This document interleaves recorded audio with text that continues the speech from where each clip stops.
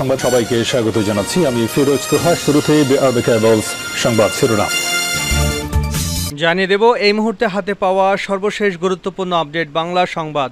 শুরুতেই থাকছে পদ্মা সেতু এলাকায় রণক্ষেত্র, অবরুদ্ধ ঢাকা টাঙ্গাইল মহাসড়ক। সরকারি চাকুরিতে কোটা সংস্কার আন্দোলনকারীদের সঙ্গে পুলিশের সংঘর্ষে রণক্ষেত্রে পরিণত হয়েছে পদ্মা সেতুর মাওয়া পয়েন্ট। এদিকে ঢাকা টাঙ্গাইল মহাসড়কের সেতু পূর্ব পাড় অবরোধ করেছেন শিক্ষার্থীরা। এতে ওই দুই এলাকায় যান চলাচল বন্ধ রয়েছে। সৃষ্টি হয়েছে দীর্ঘ যানজট। এবারে জানাব, অনির্দিষ্টকালের জন্য বন্ধ ঢাকা বিশ্ববিদ্যালয়। আজ সন্ধ্যা ছটার মধ্যে হল ছাড়ার নির্দেশ। কোটা বিরোধী আন্দোলনকে কেন্দ্র করে দেশের উদ্বুদ্ধ পরিস্থিতিতে অনির্দিষ্টকালের জন্য ঢাকা বিশ্ববিদ্যালয় বন্ধ ঘোষণা করা হয়েছে। সেই সঙ্গে আজ বুধবার সন্ধ্যা ছটার মধ্যে শিক্ষার্থীদের হল ছাড়ার জন্য নির্দেশনা দেওয়া হয়েছে। জানাব বাইতুল মোকারমে গায়বানা জানাজা অনুষ্ঠিত। পুলিশের কড়াকড়ির মধ্যেই কোটা সংস্কারের দাবিতে শিক্ষার্থীদের চলমান আন্দোলনে নিহতদের স্মরণে গায়বানা জানাজা আদায় করছে বিএনপি এবং যুগপথের শরিক দলের নেতাকর্মীরা। এদিকে ছাত্রলীগ সভাপতি সাদ্দাম ও ইনানের রুমে ভাঙচুর, ঢাকা বিশ্ববিদ্যালয়ে দেখা নেই ছাত্রলীগের। পুলিশ ও ছাত্রলীগের সঙ্গে সংঘর্ষে মঙ্গলবার ছজন নিহতের ঘটনায় তীব্র ক্ষোভ প্রকাশ করেছেন কোঠা বিরোধী আন্দোলনকারী শিক্ষার্থীরা। নিহত হওয়া ছয়জনের মধ্যে অধিকাংশই কোঠা বিরোধী আন্দোলনের সঙ্গে যুক্ত সাধারণ শিক্ষার্থী। জানিয়ে দেব, ডাক, টেলিযোগাযোগ ও তথ্য প্রযুক্তি প্রতিমন্ত্রী জোনায়েদ আহমেদ পলক বলেছেন, সহযোগিতা না পেলে ফেসবুক, ইউটিউব বন্ধ করে দেবে সরকার। এবং সর্বশেষ জানাব প্রাধ্যক্ষ সহ হাউস টিউটরদের রুমে রেখে তালা দিয়েছে জগন্নাথের ছাত্রীরা।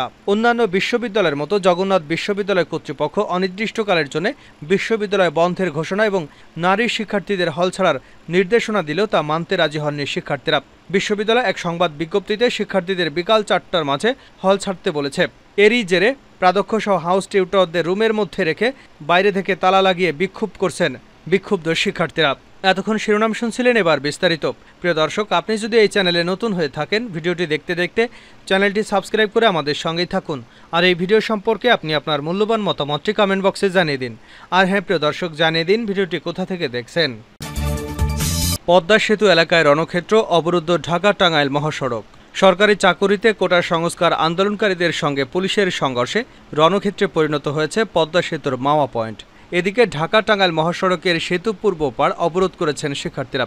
এতে ওই দুই এলাকায় যান চলাচল বন্ধ রয়েছে। সৃষ্টি হয়েছে দীর্ঘ যানজট। বুধবার এগারোটার দিকে আন্দোলনকারীদের সঙ্গে পুলিশের সংঘর্ষ হয়। এ সময় মাওয়া পয়েন্টে রণক্ষেত্রে পরিণত হয়। একই সময় শিক্ষার্থীরা ঢাকা টাঙ্গাইল মহাসড়কে অবরোধ করেন। ঘাটাইলে টাঙ্গাইল ময়মনসিংহ মহাসড়ক অবরোধ করে রেখেছেন কোটা আন্দোলনকারীরা। দুপুর পৌনে বারোটায় শুরু হয়ে অবরোধ এখনও চলছে। টাঙ্গাইলের অতিরিক্ত পুলিশ সুপার আব্দুল আল মামুন বলেন, শিক্ষার্থীরা রাস্তা আটকে বিক্ষোভ করছে। পুলিশ ধৈর্য সহকারে পরিস্থিতি মোকাবেলা করে তাদের বোঝানোর চেষ্টা করেছে। সকাল সাড়ে দশটার দিকে খুলনার নতুন রাস্তা মোড় অবরোধ করেন আন্দোলনরত শিক্ষার্থীরা। খুলনা মেট্রোপলিটন পুলিশের অতিরিক্ত উপকমিশনার সোনালী সেন বলেন, শান্তিপূর্ণ সহাবস্থান নিশ্চিত করা হয়েছে। এখন পর্যন্ত কোনো ধরনের অপ্রীতিকর ঘটনা ঘটেনি। জালকুটি এলাকায় ঢাকা নারায়ণগঞ্জ সড়কটিও অবরোধ করেছেন শিক্ষার্থীরা। পরে তারা নারায়ণগঞ্জ শহরের প্রাণকেন্দ্রে চাষাড়া মোড় অবরোধ করেন। বরিশাল কেন্দ্রীয় বাস টার্মিনাল এলাকায় ঢাকা বরিশাল মহাসড়ক অবরোধ করেছেন শিক্ষার্থীরা। বেলা সাড়ে এগারোটা থেকে নথুলাবাদ বাস টার্মিনালে বিক্ষোভ সমাবেশ শুরু করেন তারা। অনির্দিষ্টকালের জন্য ঢাকা বিশ্ববিদ্যালয় বন্ধ, ছয়টার মধ্যে হল ছাড়ার নির্দেশ। কোটা বিরোধী আন্দোলনকে কেন্দ্র করে দেশের উদ্বুদ্ধ পরিস্থিতিতে অনির্দিষ্টকালের জন্য ঢাকা বিশ্ববিদ্যালয় বন্ধ ঘোষণা করা হয়েছে। সেই সঙ্গে বুধবার সন্ধ্যা ছটার মধ্যে শিক্ষার্থীদের হল ছাড়ার নির্দেশনা দেওয়া রয়েছে। বুধবার ঢাকা বিশ্ববিদ্যালয়ের সিনেটের এক সভায় এই সিদ্ধান্ত নেওয়া হয়েছে। বিষয়টি নিশ্চিত করেছেন ঢাকা বিশ্ববিদ্যালয়ের উপাচার্য অধ্যাপক সীতেশ চন্দ্র বাসার।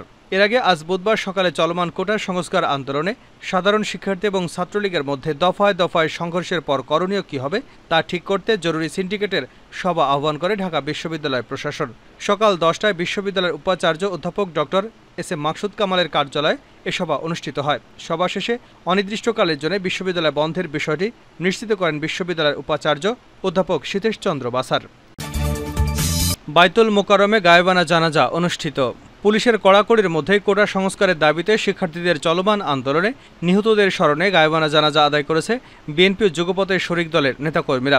বুধবার বাদ জহর রাজধানীতে জাতীয় মসজিদ বাইতুল মোকরমের উত্তর গেট এই গায়েবানা জানাজা অনুষ্ঠিত হয়। তবে বিএনপি এবং অন্যান্য দলের অসংখ্য নেতাকর্মীকে বাইতুল মোকরমে প্রবেশ করতে দেয়নি পুলিশ। জানাজা শেষে সাংবাদিকদের প্রশ্নের উত্তরে মির্জা ফখরুল ইসলাম আলমগীর বলেন, কোটা সংস্কারের দাবিতে আন্দোলনরত শিক্ষার্থীদের বিষয়টি সরকার নিজেরা সমাধান করতে পারত, কিন্তু পরিস্থিতি সংঘাতের দিকে ঠেলে দেওয়া হয়েছে। আমরা এর প্রতিবাদে কর্মসূচি দেব। গায়েবানা জানাজায় শরিক হন বিএনপির মহাসচিব মির্জা ফখরুল ইসলাম আলমগীর সহ বিএনপির আরও উচ্চপদস্থ নেতারা। তবে পুলিশি বাধায় জানাজায় শরিক হতে পারেনি গণতন্ত্র মঞ্চের শীর্ষ নেতা সাইফুল হক, রফিকুল ইসলাম বাবলু, জোনায়েদ সাকি, গণতান্ত্রিক বামৈক্যের শামসুল আলম প্রমুখ। এছাড়া জানাজায় অংশ নিতে চাইলে ডাক্তার সাকাউত হোসেন সায়ন্ত সহ কয়েকজনকে আটক করে নিয়ে যায় পুলিশ। সব হলের নিয়ন্ত্রণ এখন শিক্ষার্থীদের হাতে। ছাত্রলীগ সভাপতি সাদ্দাম ও ইনানের রুম ভাঙচুর, ঢাবিতে দেখেন এই ছাত্রলীগের। পুলিশ এবং ছাত্রলীগের সঙ্গে সংঘর্ষে মঙ্গলবার ছয়জন নিহতের ঘটনায় তীব্র ক্ষোভ প্রকাশ করেছেন কোঠাবিরোধী আন্দোলনকারী শিক্ষার্থীরা। নিহত হওয়া ছয়জনের মধ্যে অধিকাংশই কোঠাবিরোধী আন্দোলনের সঙ্গে যুক্ত সাধারণ শিক্ষার্থী। গত দুই দিনের ঘটনায় ক্ষুব্ধ ঢাকা বিশ্ববিদ্যালয়ের শিক্ষার্থীরা গতকাল রাত থেকে আজ পর্যন্ত বিশ্ববিদ্যালয়ের সব হলে নিয়ন্ত্রণ নিয়েছে এবং ছাত্রলীগের শীর্ষ নেতাদের কক্ষে হামলা ও ভাঙচুর চালিয়েছে। বেরিয়ে গেছে প্রতিটি হলে ছাত্রলীগের নেতাকর্মীরা। কেন্দ্রীয় ছাত্রলীগের সভাপতি সাদ্দাম হোসেন, সাধারণ সম্পাদক শেখ ওয়ালি আসিফ ইনান বিশ্ববিদ্যালয় শাখা ছাত্রলীগের সভাপতি মাজহারুল কবির শয়ন সাধারণ সম্পাদক তানবির হাসান সৈকত সহ আরও বেশ কয়েকজন নেতার কক্ষ ভাঙচুর করা হয়েছে। ছাত্রলীগের নেতাকর্মীদের বের করে দিয়ে অধিকাংশ হলে নিয়ন্ত্রণ নিয়েছে আন্দোলনকারীরা। সোমবার বিশ্ববিদ্যালয় সংঘর্ষের পরে বিজ্ঞান অনুষদের শিক্ষার্থীদের তিনটি আবাসিক হল, অমর একুশে হল, শহীদুল্লাহ হল, ফজলুল হক হলে নিয়ন্ত্রণ নেয় সাধারণ শিক্ষার্থীরা। এদিন থেকে এই তিন হলে ছাত্রলীগের আর কোনো শীর্ষ নেতা প্রবেশ করতে পারেননি। গতকাল মঙ্গলবার রাত এগারোটার পরে রোকেয়া হলের ছাত্রলীগের নেতৃত্বের অবরুদ্ধ করে মারধর, পরে হল ছাড়া করা হয়। গভীর রাত পর্যন্ত ছাত্রীদের বিক্ষোভের মুখে প্রাদক্ষ বিজ্ঞপ্তিতে স্বাক্ষর করেন। রোকেয়া হলের ঘটনার পর ছাত্রলীগের বিরুদ্ধে আন্দোলনকারী শিক্ষার্থীদের ক্ষোভ ছড়িয়ে পড়ে অন্যান্য হলেও। প্রাদক্ষ হাউস টিউটরদের রুমে রেখে তালা দিয়েছে জগন্নাথের ছাত্রীরা।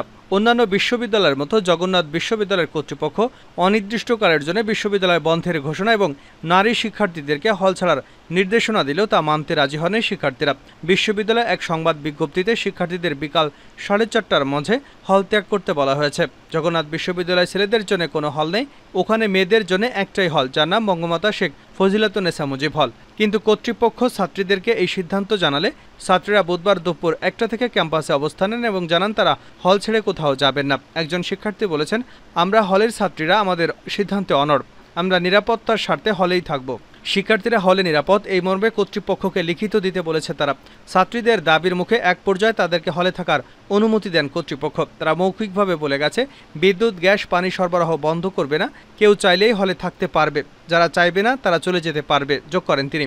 তবে এই বিশ্ববিদ্যালয়ের চতুর্থ বর্ষের শিক্ষার্থী ও BD news twenty four dot কমের ক্যাম্পাস প্রতিনিধি অনুপম মল্লিক আদিত্য জানান প্রাদক্ষ হলে থাকার মৌখিক অনুমতি দিলেও লিখিতভাবে সম্মতি জানাতে অনীহা প্রকাশ করেছেন। সেজন্য বিক্ষুব্ধ ছাত্রীরা প্রাদক্ষ সহ হাউস টিউটরদের একটি রুমে রেখে বাইরে থেকে তালা লাগিয়ে দিয়েছে। হলের প্রভোস্ট দীপিকা রানী সরকারের সাথে যোগাযোগ করার চেষ্টা করলে তা সম্ভব হয়নি।